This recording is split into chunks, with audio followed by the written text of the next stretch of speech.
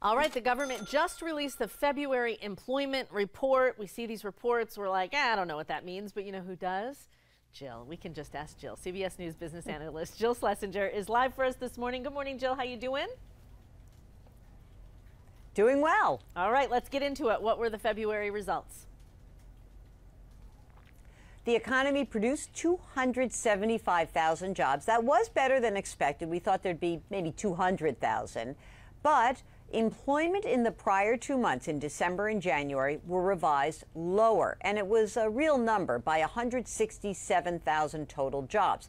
That doesn't mean that the economy is going off the rails. It just means that the initial reports always go through two subsequent months of revisions. Now we're revising lower, which may mean that the employment landscape is shifting a bit. Now, the unemployment rate did tick up to 3.9%. Wage growth moderated just slightly to 4.3% from a year ago. This was still a pretty solid report. So, if people have been paying attention, uh, Jerome Powell, the Federal Reserve Chairman, testified, testified before Congress this week. Um, so, what did he say? How did he describe the current employment situation, the overall economy? What was the what was the scoop there? Powell said the labor market does remain relatively tight, and that you can see that with the job creation, which is still pretty strong. Now, that labor market has propelled economic growth. The interesting thing about that is that as it also propels growth, we tend to spend more, which can contribute to inflation.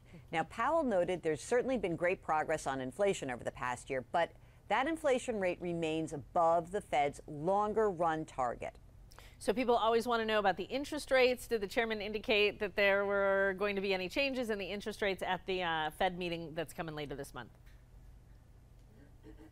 Well, he said rates are unlikely to go any higher from here, so that's good news. But the central bank is probably going to lower them later in the year because I think that what uh, Chairman Powell really wants us to know is that they are data dependent the Fed wants to become more confident that high inflation rates are truly behind us. If you look at the bond market right now, they believe the first rate cut will occur at the June meeting. Mm, okay, we'll be watching it. I know you will too. Jill, thank you. You can catch Jill regularly on CBS Mornings and the CBS Evening News with Norah O'Donnell.